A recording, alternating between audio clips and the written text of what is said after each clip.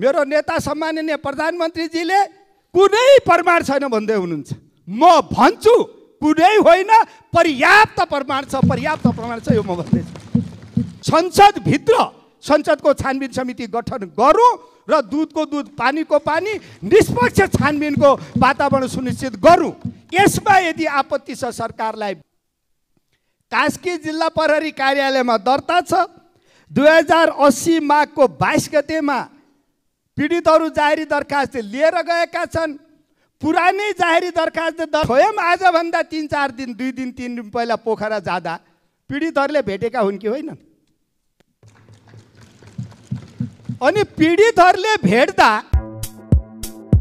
अनुसार विधेयक दुई हजार असीमाथि विचार गरियोस् भन्ने प्रस्ताव प्रस्तुत गर्न अनुमति दिन्छु। मान्य सदस्यहरू आसन ग्रहण गरौँ। मान्य सदस्यहरू के केही कुराहरू राख्न खोज्नु भएको छ भने मान्य सदस्य रमेश लेखक संक्षिप्तमा केही कुराहरू राखिदिनुहोस्। सम्मान्य सभामुख महोदय समयका लागि धन्यवाद। सम्मान्य सभामुख महोदय केही समयदेखि निरन्तर सम्मानित सदनमा अत्यन्त गम्भीर विषय गम्भीरतापूर्वक उठेको छ। नेपाली काङ्ग्रेस लगायतको सबै प्रतिपक्ष बेन्चबाट निरन्तर हामीले एउटा कुरा उठाइराखेका छौँ। त्यो के हो भन्दा देशका कतिपय सहकारी संस्थाहरूमा लाखौँ नागरिकहरूले जम्मा गरेको रकम हिनामिना भएको छ अपचलन भएको छ दुरुपयोग भएको छ र नागरिक त्यसबाट पीडित भएका छन्। यो विषय सम्मानित सदनमा उठेको छ। यो विषय पीडितहरूले सडकमा उठाएका छन् नागरिक समाजबाट उठिराखेका छ देशका महत्त्वपूर्ण सबै सञ्चार माध्यमहरूबाट यो विषय उठिराखेका छन्। र यसै सेरोफेरोमा अहिले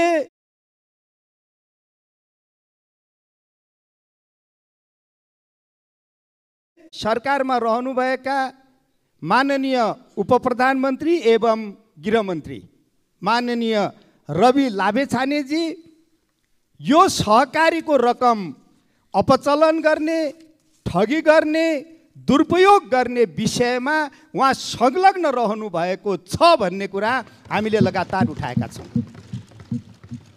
र हामीले यसै सदनले यसभन्दा पहिला स्थापित गरिसकेको विषय कुनै पनि माननीय मन्त्रीजी यदि कुनै अनुसन्धानको घेरामा आउनुभयो यदि प्रश्न उठ्यो राज्यको कुनै सक्षम निकायले यदि अनुसन्धान गर्नुपर्ने स्थिति भयो भने त्यस्तो माननीय मन्त्रीजी मन्त्रीको पदमा रहन पाउनुहुन्न रहनुहुन्न त्यस कारण उहाँले राजीनामा गर्नुपर्छ भन्ने कुरा पनि हामीले उठाउँदै आएका छौँ। हामीले निरन्तर यस बारेमा माननीय गृहमन्त्रीजीको राजीनामा माग गर्दै यो बारेमा सम्मान्य प्रधानमन्त्रीजीको जवाब माग गरेका हौँ। आज सम्मान्य प्रधानमन्त्रीजी सम्मानित सदनमा प्रस्तुत हुनुभयो आफ्ना विषय राख्नुभयो र यो बारेमा सम्मान्य प्रधानमन्त्रीले कुरा राख्दा मूलत तिन चारवटा विषय देखा पर्यो। पहिलो कुरा सम्मान्य प्रधानमन्त्रीजीले माननीय उप प्रधान एवं गृहमन्त्री मान्य रवि लामे छानेजी सरकारीको संस्थापक व्यवस्थापक सञ्चालक सदस्य के पनि हुनुहुन्न भन्नुभएको छ।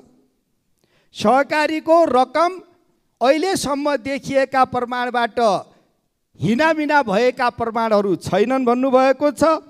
अनुसन्धानबाट अपराध देखिएन भन्नुभएको छ र नेपाली काङ्ग्रेसले यो विषयलाई अनावश्यक रूपले राजनीतिकरण गर्नु भएन भन्नुभएको छ।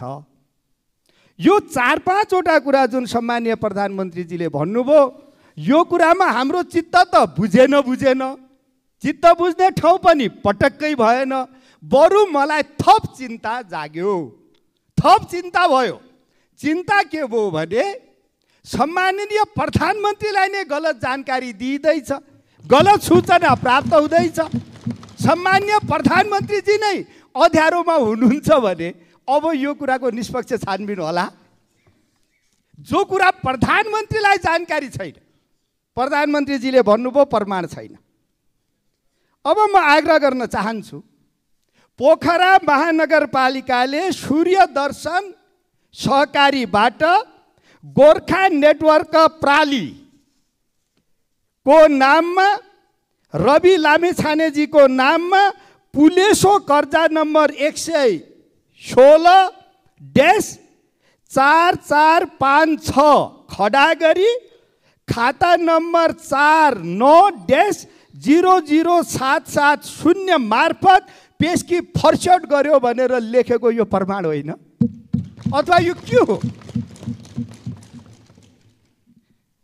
जाहेरी दरखास्त परेको छ चार सय छब्बिस अब्लिक एक सय उन्तिसमा जाहेरी दरखास्त दर्ता छ।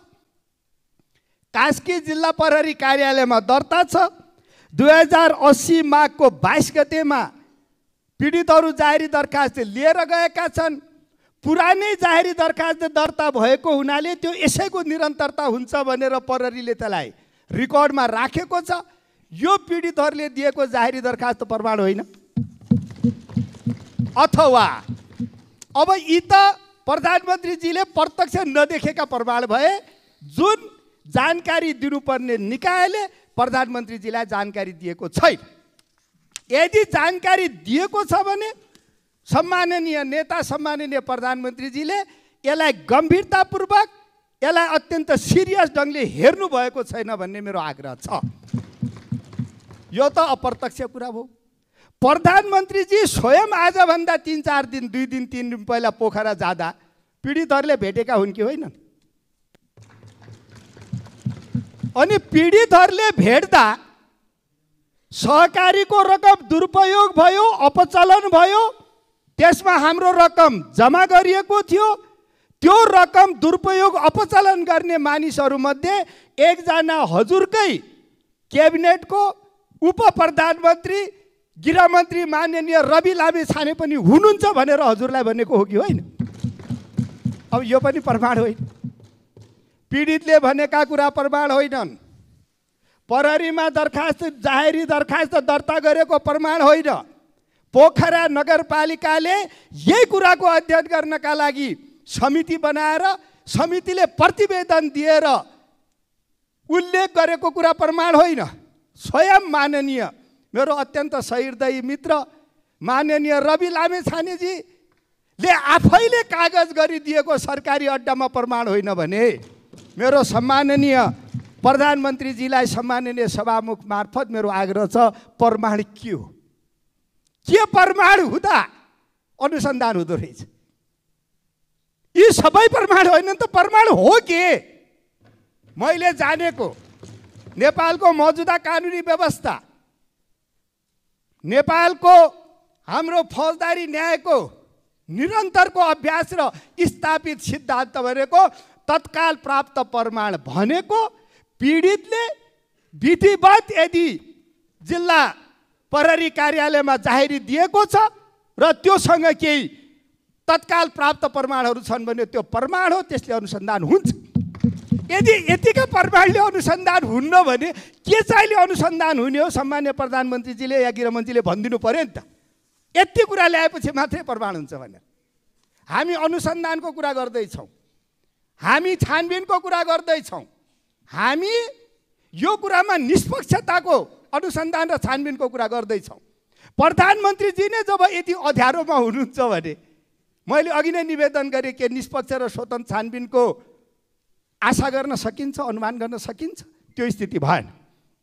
अर्को कुरा सम्माननीय प्रधानमन्त्रीजीले एउटा महत्त्वपूर्ण कुरा भर्नुभयो नेपाली काङ्ग्रेस संसदीय अभ्यासको लामो अभ्यास गरिसकेको पार्टी हो। नेपाली काङ्ग्रेसले संसदका बारेमा बुझ्नुपर्छ जान्नुपर्छ। यो हाम्रो इतिहास हामीलाई स्मरण छ। मान्य सदस्य संक्षिप्तमा राख्नु होला समस्या के हो त्यसमा जानु होला म आइहालेँ समस्यामा सभामुख संक्षिप्त राख्नु होला यो समस्या समस्या भएर अलि लामो भयो। हाम्रो इतिहास स्मरण गराइदिनु भयो सम्मान्य प्रधानमन्त्रीले। त्यो इतिहासमा हामी गौरव गर्छौँ। हामी लामो संसदीय अभ्यास छ लामो हाम्रो संसदीय व्यवस्थाका प्रति हाम्रो ठुलो प्रतिबद्धता छ। म यहीँभित्र भएका केही अभ्यासहरू मात्रै अनुरोध गरेर म सकाउँछु यस्ता विषयमा मन्त्रीका माथि प्रश्न उठ्दा आजसम्म के के भयो? एकपटक माननीय रामशरण महतजी अर्थमन्त्री भएका बेला उहाँका माथि प्रश्न उठेको छ। विदेशी ब्याङ्कमा खाता छ। उहाँले चाहिँ त राजीनामा दिनुपर्छ भन्ने प्रश्न उठ्दा माननीय रामशरण महतले राजीनामा दिनुभएको छ। यसै संसदको इतिहास। माननीय शेरबहादुर तामाङजी मन्त्री हुँदा उहाँले बोल्दाखेरि केही कुरा बिग्रियो बेठिक बोल्नुभयो भनेर प्रश्न उठेको छ उहाँले राजीनामा दिनुभएको छ त्यो पनि संसदको इतिहासमा छ। माननीय गोकुल बास्कोटाजी अहिले पनि माननीय सदस्य हुनुहुन्छ उहाँका माथि प्रश्न उठेको छ छानबिन गर्नका लागि उहाँले मार्ग प्रशस्त गर्नुभएको छ राजीनामा दिनुभएको छ त्यो पनि यसै संसदको इतिहास अर्को एउटा कुरा छ। माननीय भरतमोहन अधिकारीजीले अर्थमन्त्रीका रूपमा यहाँ बजेट प्रस्तुत गर्दा बजेटका माथि प्रश्न उठेको छ छानबिन समिति गठन भएको छ यही संसदमा त्यो पनि इतिहास। माननीय विष्णु पौडेलजीले अर्थ विधेयक विनियोजन विधेयक बजेट प्रस्तुत गर्दा बजेटका माथि प्रश्न उठेको छ छानबिन गठन छानबिन समिति गठन भएको छ छानबिन भएको छ त्यो पनि यो संसदको इतिहासमा छ।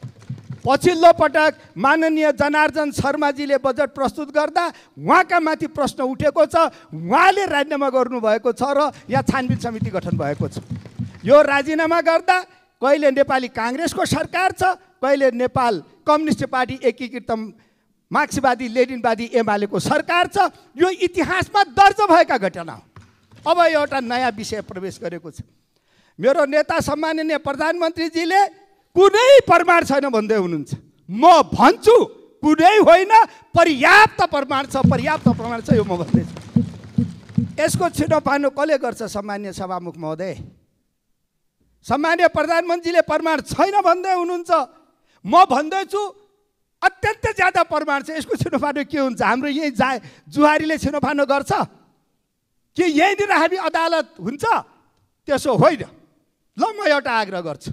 अहिलेसम्म संसदको अभ्यासमा पनि भएको संसदीय मान्यतामा पनि स्थापित भएको। म आग्रह पनि गर्न चाहन्छु सामान्य सभामुख मार्फत सामान्य प्रधानमन्त्रीज्यू र सरकारलाई आग्रह गर्न चाहन्छु र म चुनौती पनि दिन चाहन्छु तपाईँ प्रमाण छैन भन्दै हुनुहुन्छ म प्रमाण छु भन्दै छ भन्दैछु यही सदनभित्र छानबिन समिति गठन गरौँ प्रमाण छ कि छैन त्यो पनि हेरौँ। यो मेरो आग्रह। यसलाई अत्यन्त सदाशयतापूर्वक किनभने सामान्य प्रधानमन्त्रीले भन्नुभयो हाउसलाई को निरन्तर कामलाई अवरुद्ध गर्नु भएन भन्नुभएको छ।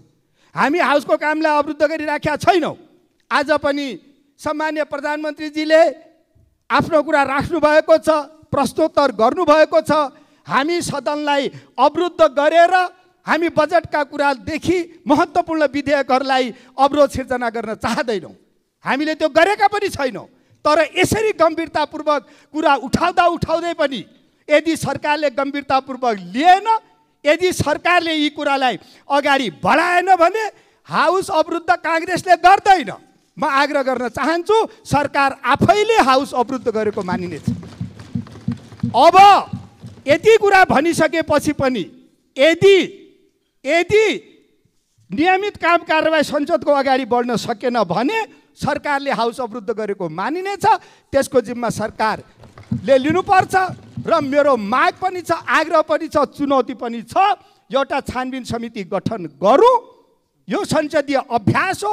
संसदभित्र संसदको छानबिन समिति गठन गरौँ र दुधको दुध पानीको पानी निष्पक्ष छानबिनको वातावरण सुनिश्चित गरौँ।